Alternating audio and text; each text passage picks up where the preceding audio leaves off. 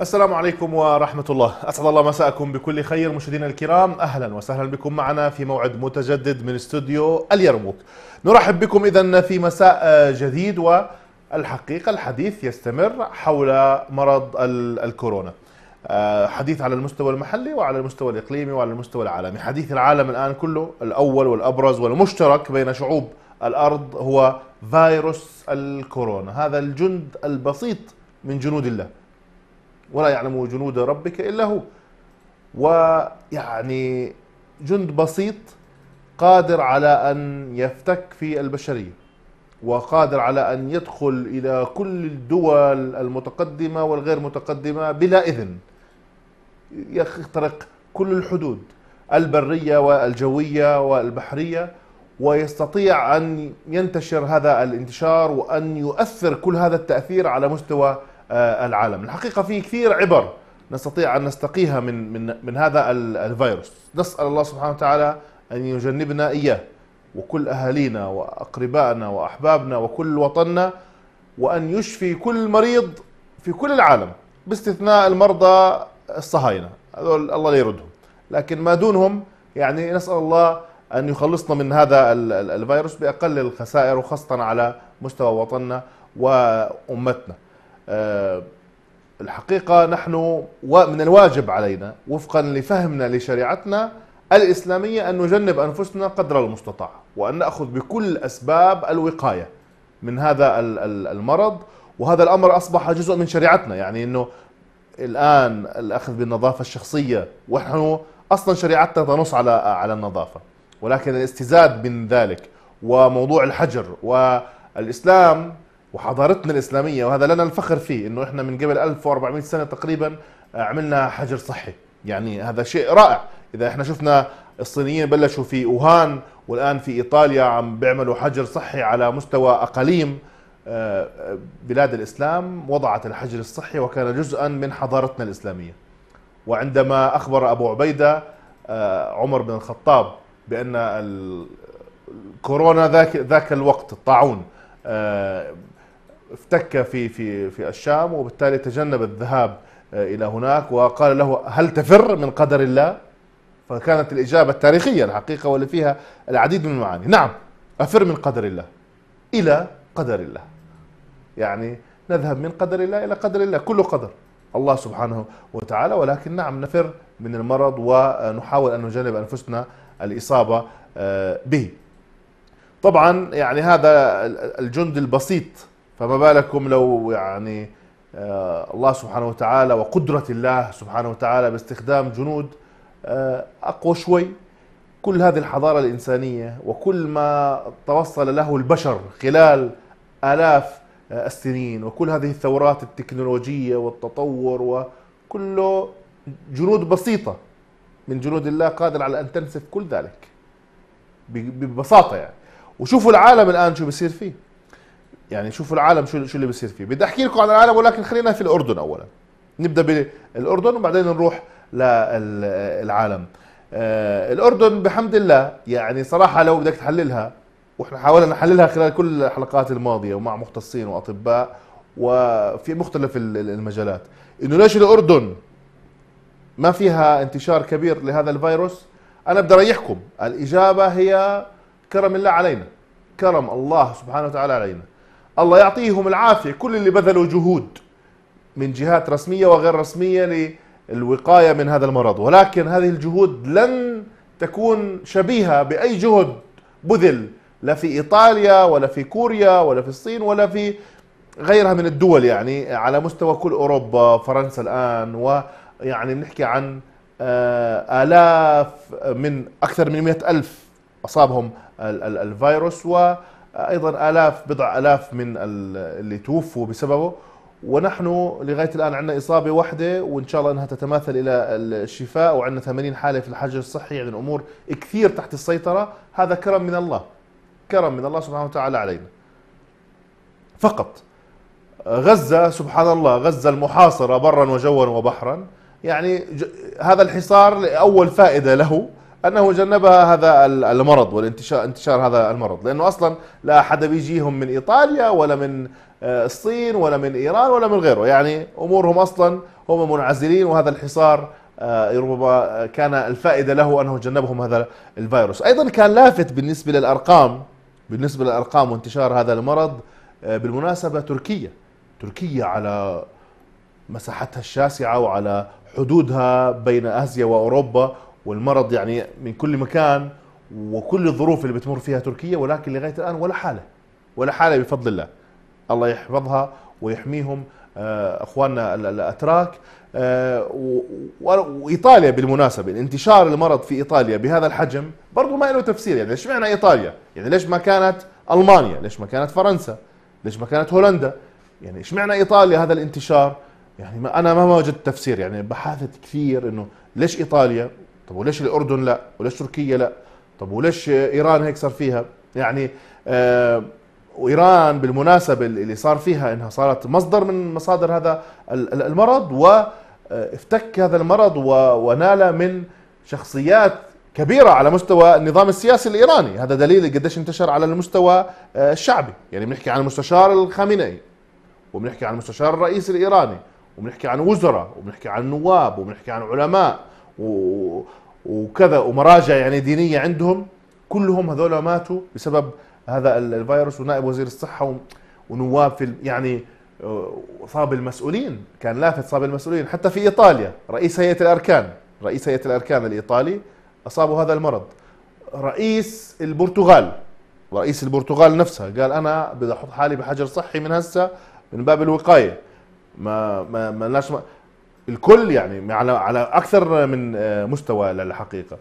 كان لافت عندنا في الأردن في بالإجراءات اللي إحنا قمنا فيها. الإجراءات أنا مع إنه آه، يعني نثق في في مؤسساتنا وفي وزارة الصحة وفي الجهات الرسمية وإن شاء الله إنه يعني ربنا يعينهم على إدارة هذا الملف بشكل جيد آه، وخاصة على مستوى الحدود وضبط الحدود ثم على المستوى الداخلي. إحنا بنتعامل زي كنا بنتعامل مع جيش.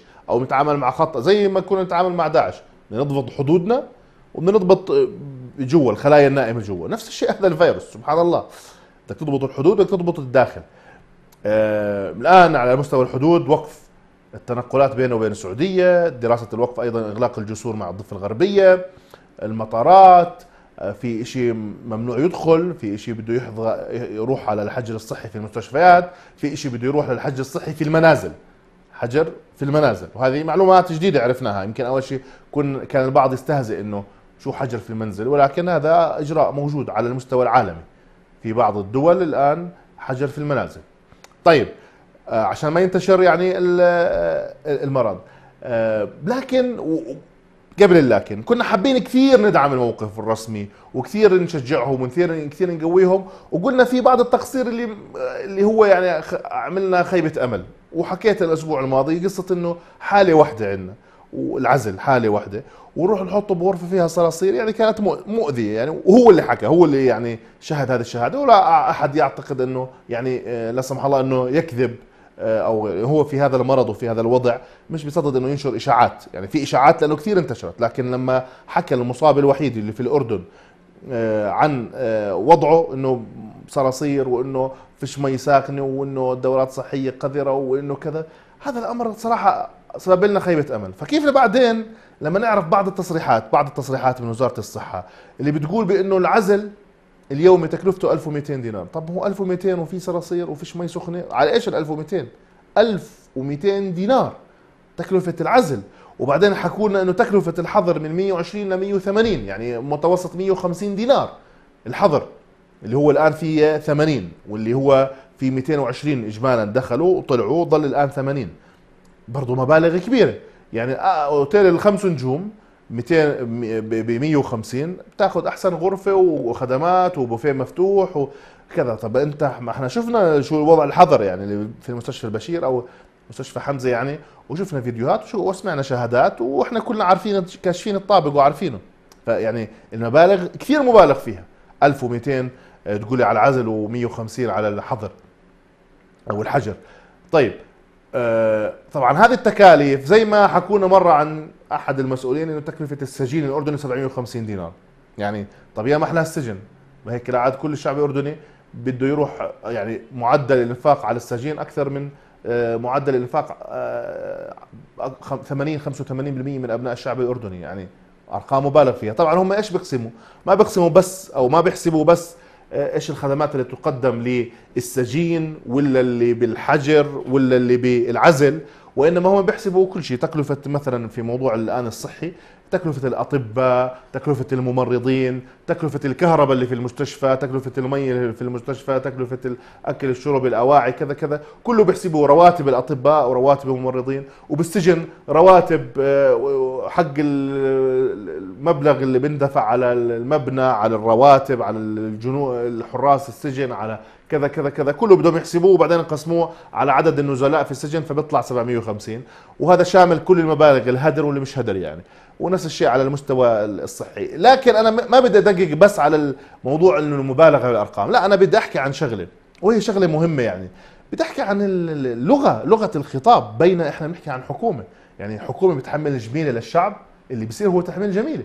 هذا الأسلوب أسلوب خاطئ وما بتتبعوا الدول اللي يعني تحترم وتقدر نفسها وتقدر آه، مواطنيها. الدول اللي المحترمه اللي بتقدر المتقدمة الراقية بتقدر نفسها وبتقدر مواطنيها ممكن تحكي عن إنه إحنا خصصنا المبلغ الفلاني لمواجهة هذا المرض. يعني أما ما بتقول كل مريض قديش بكلفها هذه تحميل جميلة. هذه تحميل جميلة ومنة. يعني بدي أحكي لفلان وعلان أنا قديش بدفع عليكم يعني. لا ما بصير. يعني لغة لغة خطاب غير موفقة حقيقة غير موفقة. أنا بقول والله أنا ترامب قال أنا رصدت كذا مليار عشان أواجه المرض. ماشي احكي لنا. هسا إذا المبلغ متواضع أو إذا إحنا بدنا نقعد كالعادة نطلب نحكي عن أرقام عشان نشحد عليها وناخذ أموال يعني مش مقبول مش مقبول. وهذه السمعة اللي صارت عند المواطن الأردني قبل غيره إنه إحنا بس شغل موضوع اللاجئين نحكي قديش بكلفنا اللاجئ وقديش كذا عشان ناخذ فلوس من المنظمات الدولية.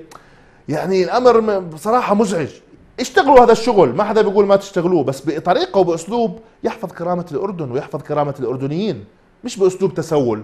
أسلوب التسول غير مقبول. يعني هذه ما عليها خلاف. وهذا الأسلوب هو أسلوب تسول. إنه أقول قديش بكلفني المريض. لا. يعني حتى موجود بعض الدول الأخرى العربية ودول شقيقة ودول كبرى ودول قد الدنيا يعني برضه لما سمعت إنه في دعم صارت تحكي عن الحالات آه، أكثر وأكثر اللي كانت مخفية عن العدد الحقيقي للحالات اللي موجودة عندها.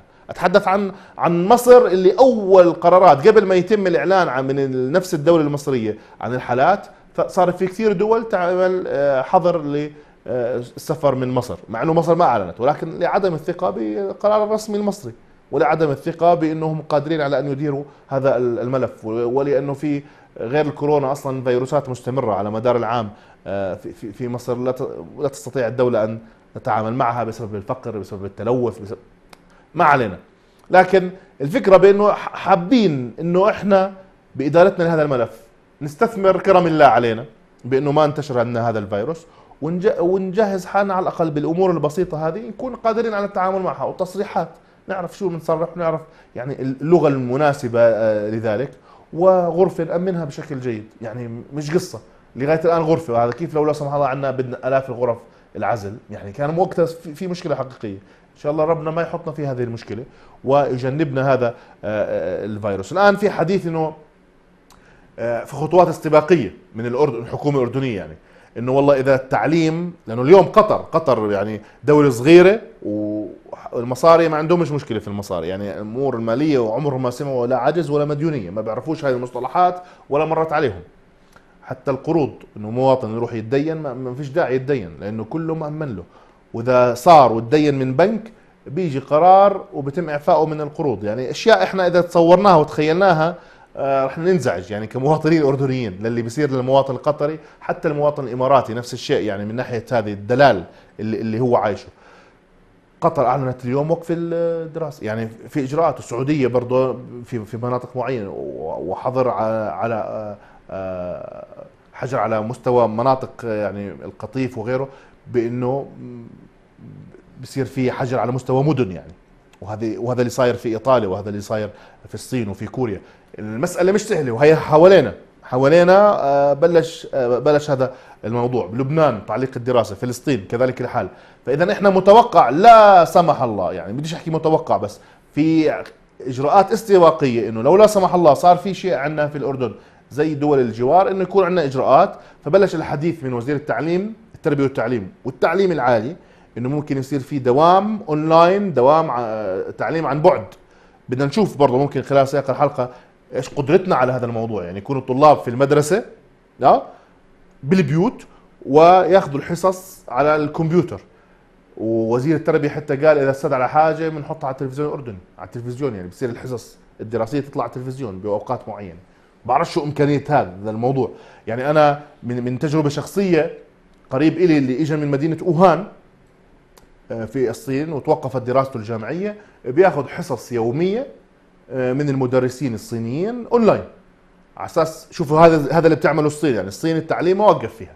التعليم مستمر ولكن بدل ما يروح على الجامعة الطالب أو الطالبة الآن صار التعليم آه، أونلاين. والتعليم الأونلاين في فرق السهل إنك تحط فيديو فيديو حصة والمعلم أو المعلمة يشرحوا على الفيديو. لكن الصعب انه يكون موضوع تفاعلي إنه هذا فيديو شريط سي دي أي شيء بنعرضه. على الواتساب بنعرض. ولكن الفكرة إنه conference يكون في آه، شيء تفاعلي الأستاذ يحكي والطالب يساله وهذا الموضوع آه، هل إحنا قادرين عليه؟ وهذا هو التعليم الحقيقي يعني. ما بعرف كيف راح يتم يعني هذا هذا الموضوع شو الخطط اللي بتفكر فيها آه، الدولة الحقيقة في في هذا الموضوع. على كل حال إن شاء الله ما يصير معنا شيء ولكن لازم يكون في عندنا خطط جاهزة في هذا الإطار. بدي بدي أنتقل من الأردن للعالم. بدي أحكي لكم بعض المعلومات على مستوى العالم وعلى مستوى الاقتصاد العالمي الأسواق العالمية. الأسواق العالمية كانت هي الضحية الأولى لهذا الفيروس.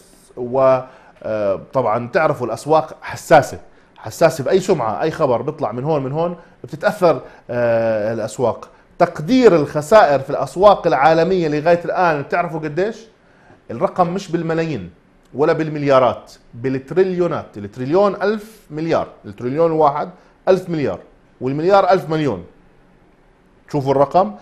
ستة تريليون دولار لغاية الآن خسائر الأسواق العالمية من الكورونا. شوفوا الرقم. 6 تريليون. وهذا خلال أيام وبتضعف خلال أسابيع يعني بتضعف هذا آه، الرقم. النفط طبعا صناعة النفط على مستوى التصدير والاستهلاك والإنتاج أسعار النفط انهارت انهيار آه، كبير ووصلت إلى أدنى أسعار على مستوى العقود الماضية آه، و يعني الآن 30 دولار تقريبا سعر برميل النفط وفي طريقه أيضا إلى انخفاض أكثر وأكثر ويصير بالعشرينات.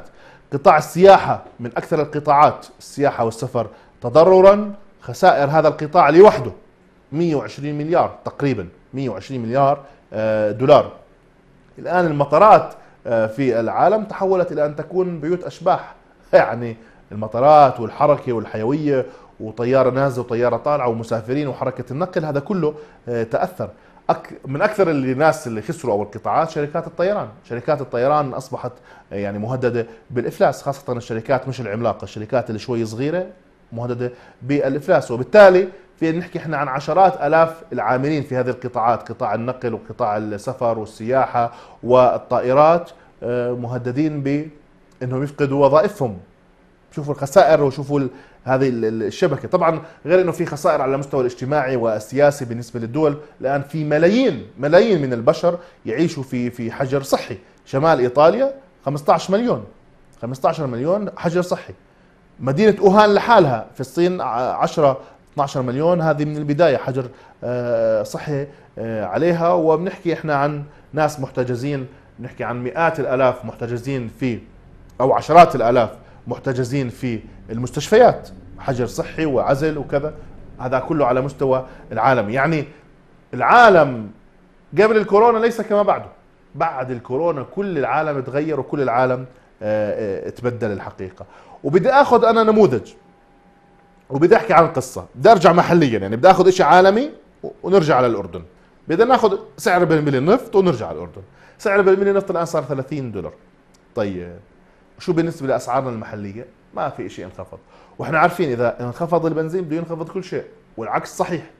لكن إحنا عندنا بس العكس اللي بيصير إنه إذا ارتفع البنزين بده يرتفع كل شيء والحجة واضحة. والله أسعار النفط في العالم ارتفعت. والله إحنا دولة بنستورد النفط والنفط ارتفع. كل شيء بده يرتفع في الأردن. أسعار الأكل والشرب والاجارات والتكاسي والمو والمواصلات. حتى أجار حلاق حلاق صالون الشعر. صالون الشعر بيرتفع مع ارتفاع النفط. طب هو المقص بيشتغل على النفط؟ لا. بس لأنه كل شيء غيري على الحلاق فالحلاق راح يضطر إنه يرفع سعر آه، حلاقته.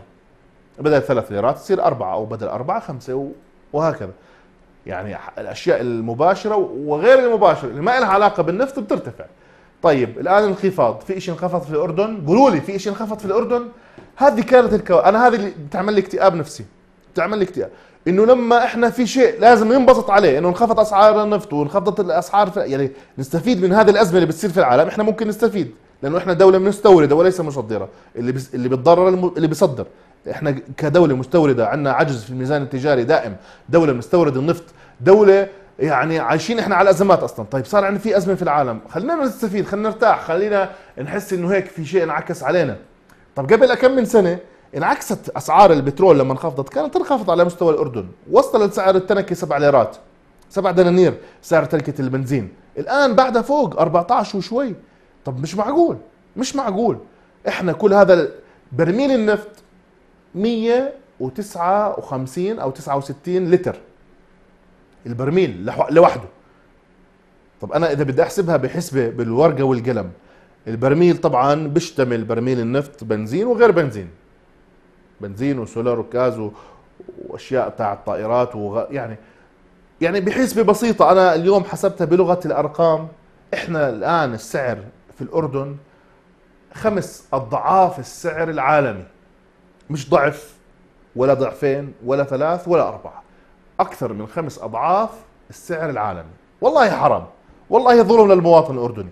يعني فاتورة الكهرباء ونصبتوا علينا ورفعتوها علينا وضيعتوا القصة وميعتوها بالتحقيقات وباللجان وغالبا ما في شيء راح يصير يعني آه، على المستوى الرسمي. إلا إذا الشعب ضغط والشعب زهقان ومش فاضي يضغط. يعني ما مش قادر يضغط. مش قادر ينسق جهوده وإنه يضغط وينتزع حقه. وإذا الشعب ما ضغط وما انتزع حقه ما في حق بيجي هيك ببلاش. وغالبا كلها لجان وتشكيلها وتصريحات وكلام بكلام. لن يثمر شيء ولن ينعكس شيء على حياة المواطن آه، الأردني. طب سعر العالم انخفض يعني خلونا نعيش هيك. خلونا نتنفس. خلينا هيك قرار. طبعا هسه بيطلع آخر الشهر راح يطلع قرار تخفيض أسعار ال... بس شو التخفيض يعني سخيف راح يكون. تخفيض سخيف. لأنه إحنا عندنا ضرائب وعندنا أصلا 50% من السعر ضرائب والضرائب صارت ثابتة ولا تتحرك يعني مع الأسعار. بحجة عملوها بحجة إنه يصير في استقرار وإنه هذا لمصلحتنا. هي طلع مش لمصلحتنا لأنه انخفضت الأسعار وانهارت انهارت الأسعار. هل راح تنهار الأسعار بالنسبة لنا؟ بالعالم انهارت لكن عندنا والله هذا مؤذي هذا مؤذي لنفسية المواطن الأردني إنه يحس ان العالم كله بيرخص وعندنا لا ممنوع. الحكومة بدها تستغلك وبدها تمتص دمك. هذا أمر لوحده كفيل إنه يشعر المواطن بالظلم وبالاضطهاد الاقتصادي. ما في اضطهاد سياسي مع إنه يعني في معتقلين رأي وفي بس بدي أقول إنه ما ما في ديكتاتورية لدرجة الديكتاتورية ولا بس في شيء اضطهاد نفسي اضطهاد نفسي موجود في الأردن من ناحية إنه أنت ما تشعر إنه أنت بتحصل على حقك وإنه أنت العالم ماشي باتجاه وأنت لا مصر إنه أنت آه، تضلك ثابت. طب العالم الأسعار تنهار عنده ليش ما تنهار عندنا ليش ما ينخفض أسعار النفط وبالتالي ينخفض كل شيء في الأردن؟ هذا أهم من الحزم الاقتصادية وهذا أهم من رفع الضرائب وتقليل قيمة الضرائب 4% آه، ولا 2% ولا 8% ولا إيش ما كان ولا حتى 16% لو لغيتها كلها ما حدا بيلتزم ما حدا بيلتزم كله بيرتفع بس على الانخفاض ما حدا بينخفض. مؤسف مؤسف هذا الأمر واليوم بدنا نتناقش إنه إيش في فرص ممكن نستثمرها من وراء الكورونا. شوف كيف الناس بتفكر بدها تجنب حالها. إحنا عندنا ظرف استثنائي بدنا نحاول إنه نستفيد. كيف بنقدر نستفيد؟ ممكن نتناقش خلال ذلك خلال سياق الحلقة مع خبراء في في هذا الإطار. بدي أكتفي بهذا القدر. نذهب الآن إلى وقفة قصيرة. نذهب من بعدها إلى تفصيل في مجموعة من الملفات وعلى رأسها ملف الكورونا. فتفضلوا مشاهدينا الكرام بالبقاء معنا.